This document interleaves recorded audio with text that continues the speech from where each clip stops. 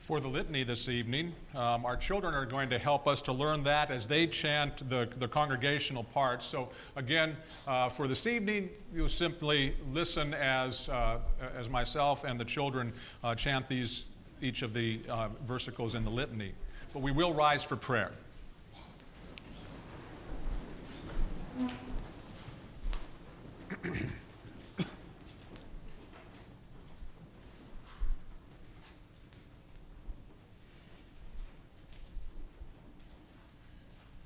In peace, let us pray to the Lord. Have mercy. For the peace from above and for our salvation, let us pray to the Lord. Have mercy. For the peace of the whole world, for the well being of the church of God, and for the unity of all, let us pray to the Lord for this holy house and for all who offer here their worship and praise, let us pray to the Lord. For President Harrison, President Mirly, for all pastors in Christ, for all servants of the church, and for all the people, let us pray to the Lord. For President Obama, for all public servants, for the government and those who protect us, that they may be upheld and strengthened in every good deed. Let us pray to the Lord.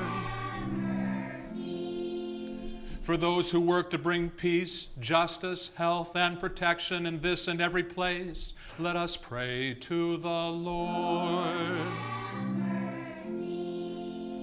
for those who bring offerings, those who do good works in this congregation, those who toil, those who sing, and all the people here who pre- present who await from the Lord great and abundant mercy, let us pray to the Lord. For favorable weather, for an abundance of the fruits of the earth, and for peaceful times, let us pray to the Lord for our deliverance from all affliction, wrath, danger, and need, let us pray to the Lord. For the faithful who have gone before us and are with Christ, let us give thanks to the Lord. Help, save, comfort, and defend us, gracious Lord. Rejoicing in the fellowship of all the saints, let us commend ourselves, one another, and our whole life to Christ our Lord. To you, O Lord. O Lord God, the life of all the living, the light of the faithful, the strength of those who labor, the repose of the blessed dead, grant us a powerful night from, free from all disturbance that here after a time of quiet slumber we may be your by your goodness be endued in the new day with the guidance of your holy spirit and enabled in peace to render thanks to you. Through jesus christ our lord. Amen. And taught by our lord and trusting in his promises we are bold to pray our father who art in heaven hallowed be thy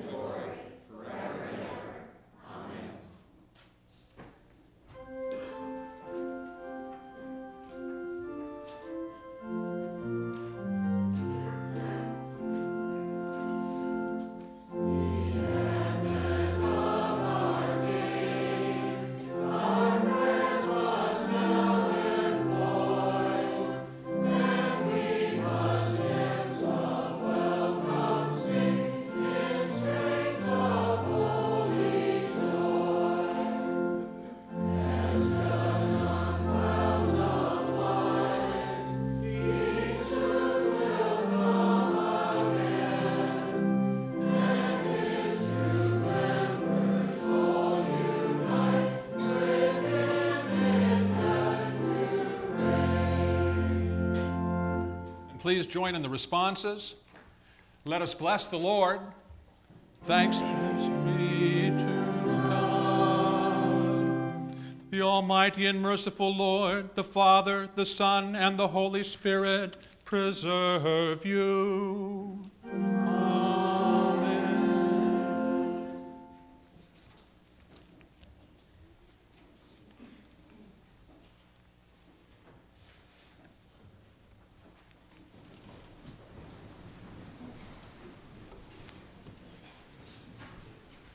Right. Well, um, we're very grateful that all of you could be here tonight. And um, I think next, next week we'll go ahead and sing those parts all together. My hope and my goal is that you were kind of chomping at the bit, wanting to jump in and sing along. And so, uh, and I think we'll uh, be able to do that next week and, and, be real comfortable with that. And as we do, uh, we'll get more and more familiar with this, this liturgy. It's a beautiful liturgy, and, and we'll continue to um, layer on all of the different aspects of it.